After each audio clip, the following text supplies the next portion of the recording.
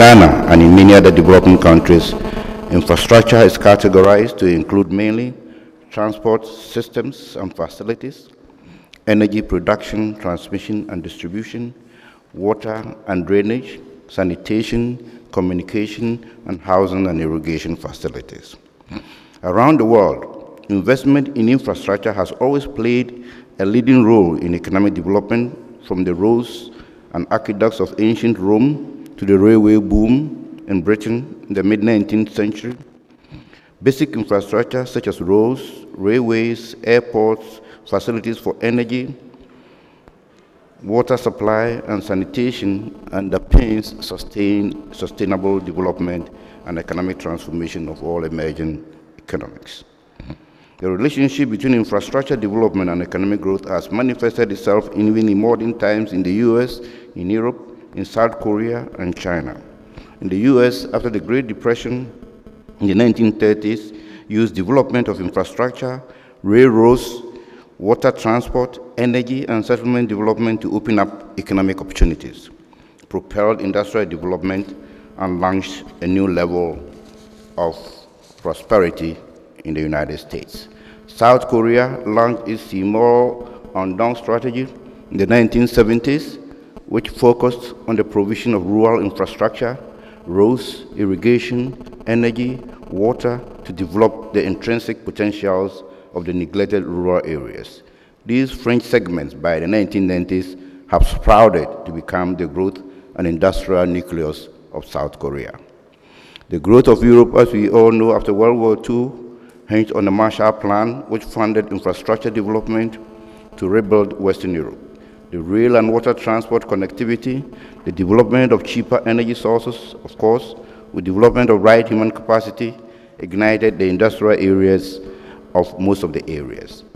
The economic miracle of China in the last decade is predicated on a huge development of infrastructure that linked up and opened the interior regions to the coastal frontiers and indeed to the international markets with the development of ports, massive rail and road arteries, facilitating industrial and agricultural production. Infrastructure development, ladies and gentlemen, is at the core of economic growth. In Ghana, the Gold Coast, as far back as 1903, initiated its first rail construction from Tarkwa to Sekondi and by 1925 linked up the western with the central part of the country and also from the east to the west, principally to facilitate the export of cocoa and minerals. The 10-year plan of Guggisberg from 1920 to 1930 added roads, ports, water, health, and education infrastructure. The tempo for infrastructure development was raised in the 1950s and 1960s, adding on a veritable source of energy, road extension to the central and northern parts of the country, the development of ports, urban housing, as well as massive education and health infrastructure.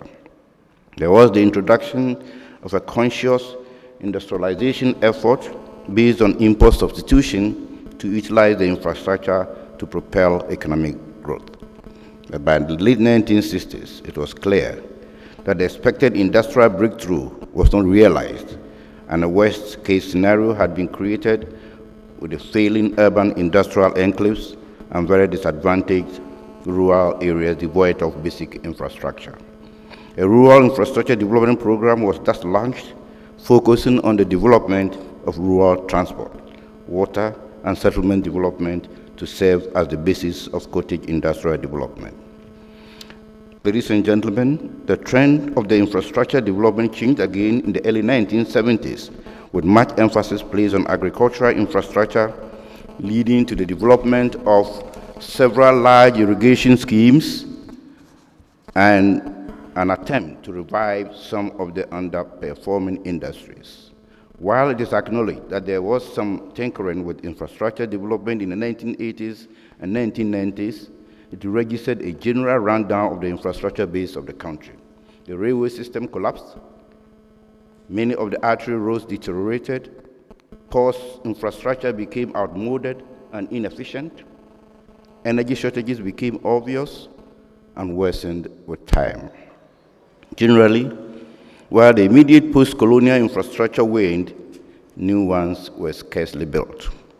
After the year 2000, when the country declared itself as a highly indebted poor country, some amount of the gains and other grants were directed to support the rehabilitation of the major road arteries at the coastal stretch and also through to Kumasi through to northern Ghana. Several feeder roads were rehabilitated, energy infrastructure expanded, and water projects, particularly in the rural areas, expanded. There was clearly a debt in infrastructure development and maintenance, which led the country into a massive and prolonged energy crisis and the deterioration of transport infrastructure, particularly in the rural areas. In 2015 and 2016, following the oil windfalls of 2014, many hurriedly prepared infrastructure projects were executed in the areas of energy, transport, health, and education, principally to create visibility for an impending election. The current state of infrastructure in Ghana. It is an uncontested fact that Ghana at independence had a similar level of development, including infrastructure outlay, like South Korea, Malaysia, and Singapore. But while these countries improved their circumstances and built on their infrastructure and became best practices in the world, Ghana stagnated and even deteriorated in its infrastructure development. While it is acknowledged that the energy infrastructure has improved with an installed capacity of about 4,132 megawatts as of 2016, there's, however, an annual demand growth of about 10% to reckon with, and a debt overhang in the sector totaling almost about $2.4 billion. Ghana has a total road network of about 72,381 kilometers, with only 39% classified as good and 77% unpaved as at 2015. Water transport is highly un underdeveloped, though it represents the best potential for haulage of goods from the ports to the northern part of the country and to other neighbors in the sub-region.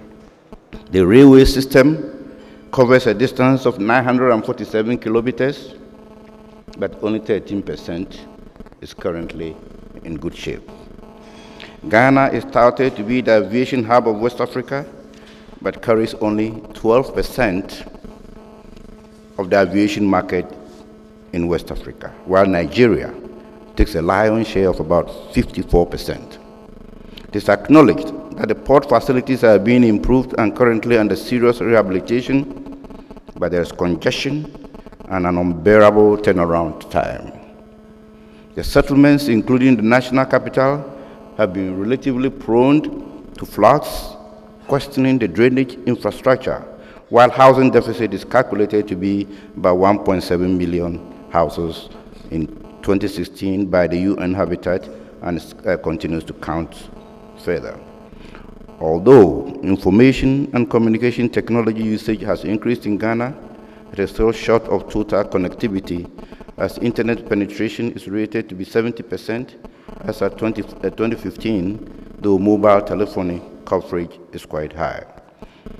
Ladies and gentlemen, this is but a small picture of the deplorable state of Ghana's infrastructure, posing a serious threat to the growth and development of the country.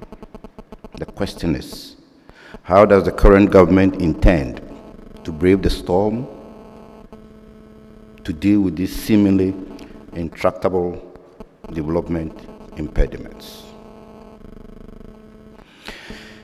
The current government recognizes that it requires doing things differently to change the course of infrastructure development in Ghana and it is guided by four main principles.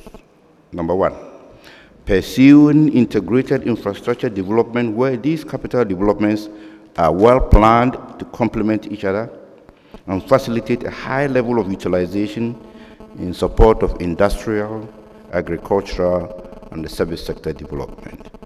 Two, planning of an investment in any infrastructure must go through a thorough financial and economic analysis to assess the financial viability and technical feasibility and have a budget that covers not only the development of construction, but also the operation and maintenance for the total lifespan and where feasible, aim at cost recovery.